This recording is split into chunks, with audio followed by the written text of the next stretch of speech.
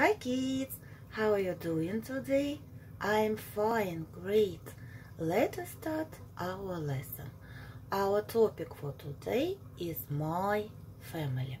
Let us see. Who is this? This is daddy. Who is this? This is mommy. Who is this? This is granddad. Who is this? This is grandma. Who is this? This is a boy. Who is this? This is a girl. Who is this? This is a baby. Well done. And now look at the picture. Who are you? Look, I am a boy. My name is Boris. This is my bicycle. It is green. I like it very much. Next picture. Who are you? I am a girl. My name is Marina. This is my teddy bear. It is brown.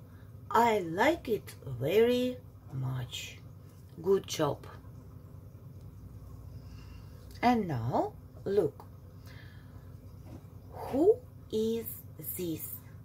This is a girl. What is her name? Her name is Olga. How old is she? She is six. What does she have? She has a balloon. What color is it? It is red. Does Olga like her balloon? Yes, she does. Olga likes her balloon. One more time. This is a girl. Her name is Olga. She is six. She has a balloon.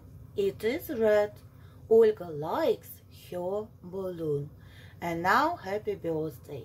Happy birthday to you. Happy birthday to you. Happy birthday, dear Kate. Happy birthday to you. Well done. And now, if you have a wish, you may memorize the rhyme. I have got a mother. I have got a father. I have got a sister. I have got a brother.